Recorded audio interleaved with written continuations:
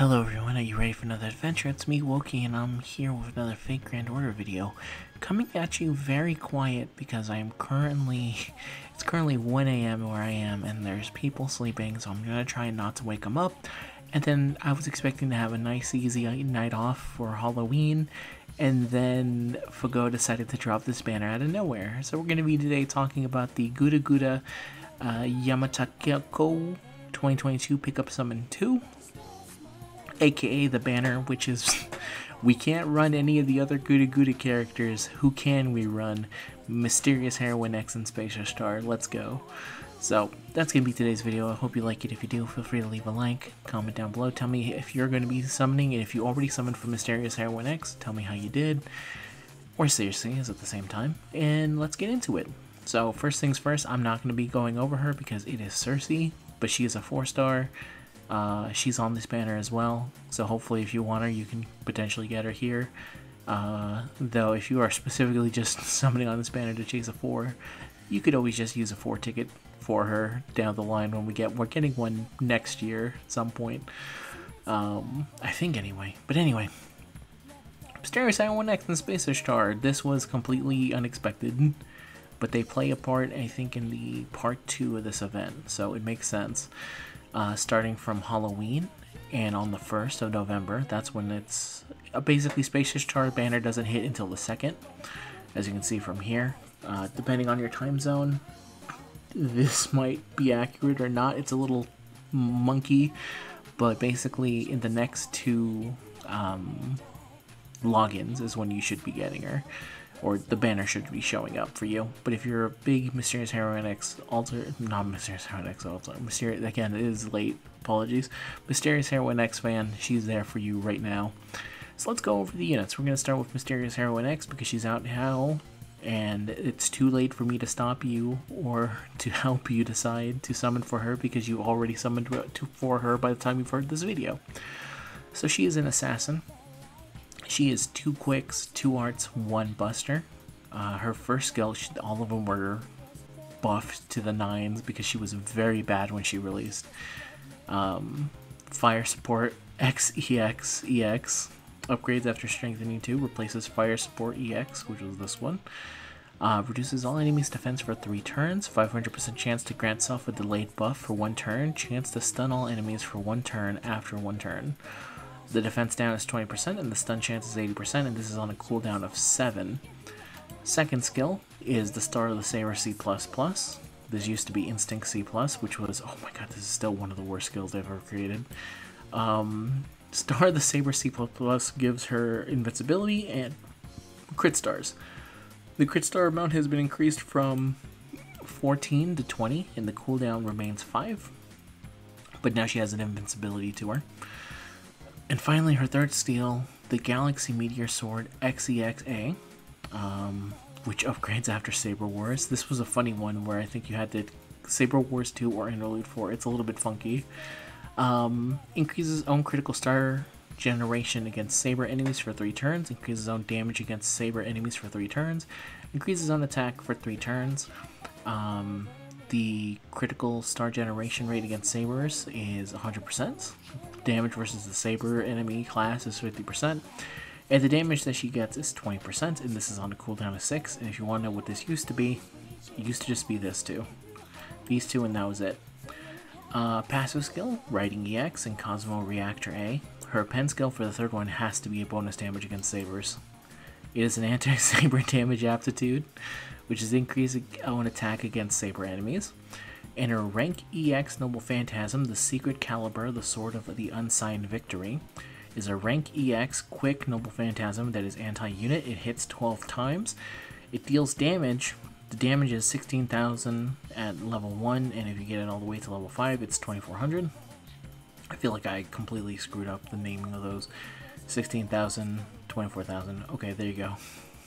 That should make sense. And then she also deals extra damage against Artoria face enemies, aka Saber face. Um, it's 150% extra damage at charge level 1, and if you get her to the final charge, it is 200%. And she also has an Ascension, not an Ascension, she has a different outfit, which is the Mysterious Heroine Z. And yeah, that's Mysterious Heroine X. She is a niche, niche, niche, niche unit in that she only really, really, really wants to go against Artoria faces. Not Sabers, Artoria face, which is different.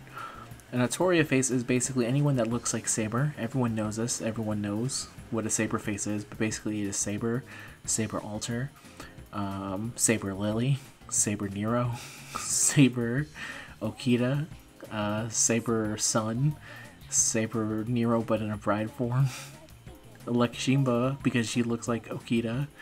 And then you have Okita uh, Alter. You get the point here. Anyone that kind of looks like Saber, you deal bonus damage to them, and only them.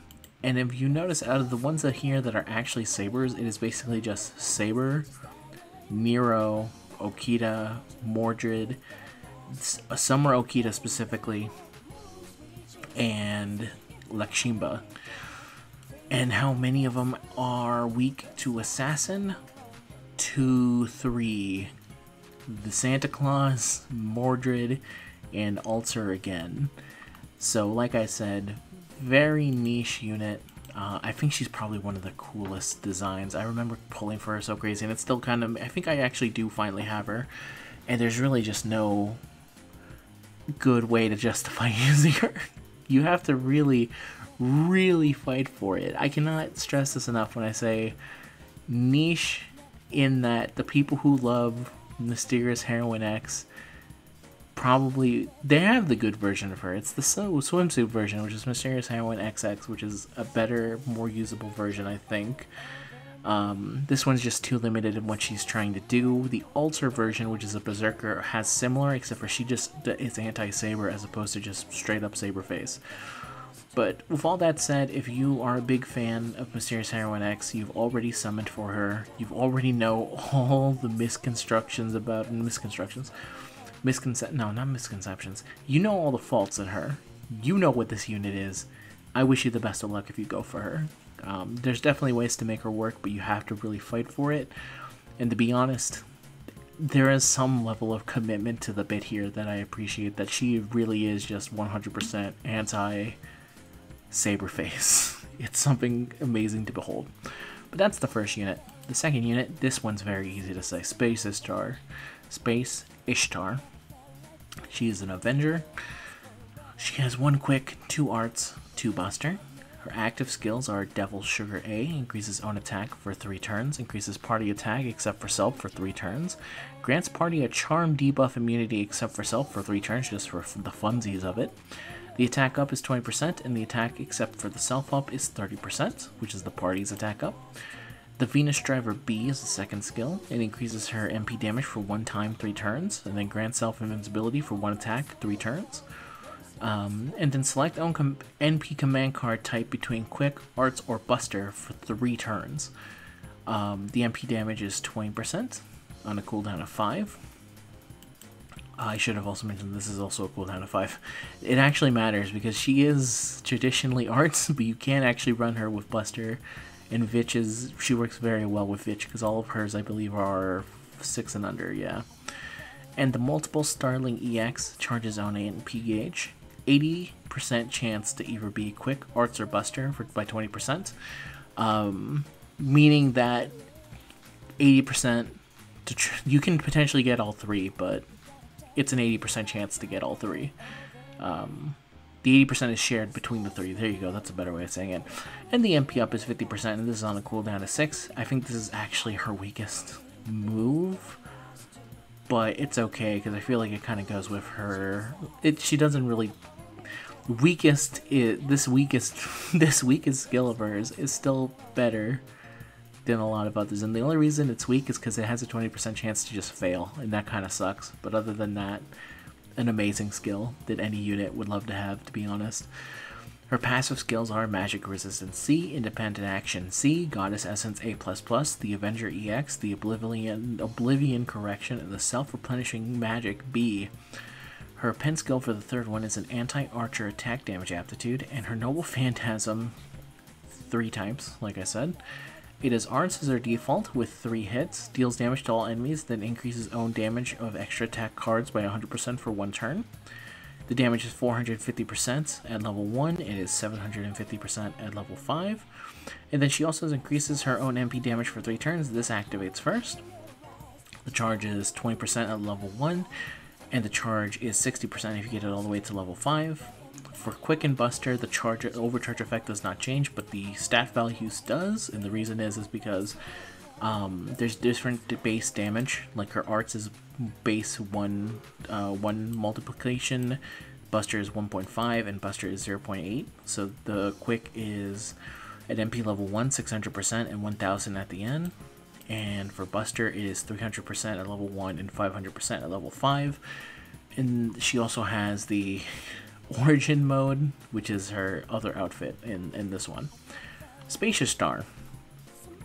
Currently in Fago NA, it is between her and Kama who is the better is like is a debate back and forth that you could have over who's better in terms of farming for um, arts. They are very similar um, in what they do and how they kind of get stuff back. They can both easily fuck shit up, no issues, and really, the I think it's negligible which one you kind of prefer at that point. I have both, and the only reason I use my Kama is because she's NP2. if she was NP1 like Space Ishtar, it would kind of be a depending on the kind of node kind of battle. Um, but she is an excellent, excellent, excellent farmer, and she's also um, very fun to use because she also has like a. It's funny because she is like one of the best farmers, and that she has like a very cool like skill way. So obviously, this eighty percent, when you look at it in terms of farming, it sucks because it means that you have a chance for something to fail. But if you look at her design in a way of like saying like, okay, use her like a normal being. Let's say you use this first, and one of these gets buffed and the others don't. Um, for example, it is Buster that gets buffed, you could definitely make it so that her NP is now Buster, so she can take advantage of the 20% Buster from this. Now, obviously, in most most of the time, that doesn't really work out, but I do like that they kind of put some thought into like how you would do it, where if you use this skill first, you can kind of dictate which one you want to go to. Obviously, if you are farming with Space Ishtar to start, then you already know which one to be, and obviously she is best in arts, and then I would probably say Buster, and then Quick for the third. Um, with Quick, I think you having to have some very specific things to get her to work. I I remember using her for Quick, but I still prefer Dantes for Quick farming Avenger. If I'm going to use an Avenger for for Quick farming, it's going to be Dantes. But she can definitely work for Buster, even though I've never tried it because there's plenty of good busters. But in terms of arts, she's very good. Even though this only hits three times, it's a, it is enough to get her to um, at least 50%, even sometimes 100%. Like I said, she is an amazing, amazing farmer. The only thing that is a negative is the fact that if you really, really, really, really want to get to the nitty gritty, you can wait a year for Summer Ibuki, and Summer Ibuki is better than both Kama and Space Ishtar, at least in terms of pure raw stats. And I remember, because I remember the conversation being like, oh yeah, it is between these two. And then she came out and it was like, the conversation is over. it's her. they kind of built her very, very, very crazy. But I digress. If you are a big fan of Rin, this is likely the ultimate Rin that you could have because it is not just one Rin, it is multiple Rins. It is one, two, three, and if you want to count the Spirit Origin, it is four different Rins. It is not just one Rin, and it is also Giant Goddess Rin. This is the one you kind of want. Ereshkigal and regular Ishtar, also very good, but that just says how great how great I think Space Ishtar is. Is that in terms of the ultimate Rin, this is the ultimate Rin because it is literally multiple Rins put into one in a space. The only thing that is not like her is that she is technically not Rin. So if you actually want to be more realistic about it, Ishtar and Ereshkigal are probably closer. But in terms of a unit that will fully satiate you as a big Rin fan, you can't look any more than Space Ishtar. She is 100% built for everything. I wouldn't be surprised if she catches people off guard and they are immediately summoning for her. And if you do, I wish you the best of luck. Um, is she worth it to summon over some other dudes that are coming up? I would say yeah. I would I would definitely think she is good enough to justify summoning for if you need that justification. Um, but again, like I always say, if you're someone who is summoning for gameplay purposes, you should know the plan and stick to the plan and not deviate and let don't let yourself be tempted by other units. If you're someone who purely plays for the love of everything and you see that Rin is here and you don't care what could potentially be coming for Thanksgiving or anything else, go for her. Wish you the best of luck. Um, maybe even a single, if you could. But if you're someone who is also just like, you know what, I can wait a year for Summer Ibuki, then you can just wait for Summer Ibuki.